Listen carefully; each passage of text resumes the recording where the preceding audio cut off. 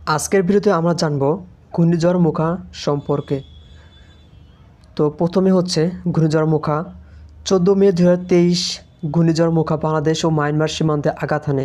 এর কেন্দ্রের একটি অংশ বাংলাদেশের সেন্ট মার্টিন দ্বীপের উপর দিয়ে যায়। তবে সাগর থেকে মাটিতে এসে মুখা অনেকটা দুর্বল হয়ে পড়ায়, বড় ধরনের ক্ষয়ক্ষতি হয়নি। ব্যতিক্রম ঘূর্ণিঝড় মুখা। গত দুই যুগে দেশে আঘাত হানা ঘূর্ণিঝড়গুলোর মধ্যে শক্তির তুলনায় না হলেও চরিত্রের দিক থেকে ঘূর্ণিঝড় মুখা ছিল ব্যতিক্রম। কেননা এ দেশ এর আগে সিডোর, আইলা বা ইয়াসের মতো শক্তিশালী ঘূর্ণিঝড়গুলো আঘাত হানার সময় উপকূলে তীব্র বাতাস, জলোচ্ছ্বাস ও বৃষ্টি ছিল। কিন্তু মুখা যখন উপকূলে আঘাত হানে, দেশের উত্তরাঞ্চল ও মধ্য অঞ্চলে রীতিমতো তাপ প্রভাব বয়ে যায়। এছাড়া এখন পর্যন্ত বাংলাদেশে আঘাত হানা ঘূর্ণিঝড়গুলোর মধ্যে মুখাই সবচেয়ে ক্ষণস্থায়ী জ্বর যা, যার স্থায়িত্ব ছিল ছয় ঘণ্টা নামকরণ। ঘূর্ণিঝড় মুখার নামকরণ করে ইয়েমেন। মুখা ইয়েমেনের একটি বন্দর শহরের নাম। ইয়েমেনের লোহিত সাগর উপকূলের শহর এটি। ঊনবিংশ শতকে ইয়েমেনের প্রধান বন্দরে পরিণত হয় মুখা। শহরটি কফি বাণিজ্যের জন্য সুপরিচিত। মোখা নামে একটি কফিরও নাম আছে। তালিকা অনুযায়ী পরবর্তী ঘূর্ণিঝড়টির নাম হবে বিপর্যয়। এই নামটি বাংলাদেশের দেওয়া।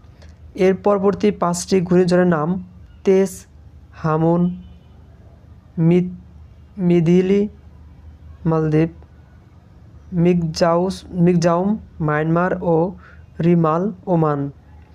তো বাংলাদেশ ঘূর্ণিঝড় মুখায় বিপর্যয়, সম্পূর্ণ বিধ্বস্ত ঘূর্ণি, ঘরবাড়ির সংখ্যা দুই হাজার বাইশ। আংশিক ক্ষয়ক্ষতির ঘরবাড়ি দশ হাজার চারশো উনসত্তর। সেন্ট মার্টিনের অন্তত বারোশো, এক হাজার দুশো কাঁচা ও টিনের ছাউনি এবং আধা পাকা ঘর ভেঙে যায়। টেকটাপে তিনজন লবণ চাষে নিহত এবং এগারো জন সেন্ট মার্টিনে আহত হয়। মায়ানমার। মায়ানমারের চার শতাধিক লোকের মৃত্যু হয়। রাখাইনে ঘরবাড়ি বিধ্বস্ত সহ বিদ্যুতের খুঁটি উপড়ে পড়ে যায়।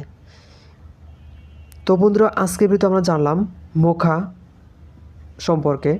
মুখা ব্যতিক্রমী স- সম্প- ঘূর্ণিঝড় এবং তার নামকরণ, বাংলাদেশে কেমন ক্ষয়ক্ষতি হয়েছে এবং মায়ানমারে কেমন ক্ষয়ক্ষতি হয়েছে সে সম্পর্কে আমরা জানলাম। তো বন্ধুরা, ভিডিওটি কেমন হয়েছে সে অবশ্যই আমাদের কমেন্ট বক্সে জানিয়ে দেবেন। আর পরবর্তী কী ধরনের ভিডিও চা চা পেতে চান সেটা আপনারা যদি কমেন্ট বক্সে লিখে দেন, তাহলে আমরা সেই অনুপাতে ভিডিও বানানোর চেষ্টা করব। আর হ্যাঁ বন্ধুরা, যারা এখন আমাদের চ্যানেলটি সাবস্ক্রাইব করেননি বা আমাদের চ্যানেল নতুন দর্শক হননি, তারা এখন আমাদের চ্যানেলটি সাবস্ক্রাইব করে রাখতে পারেন। তো আবার দেখাবো নতুন কোনো ভিডিও নিয়ে। সে সবাই ভালো থাকবেন, সুস্থ থাকবেন। আল্লাহ হাফেজ।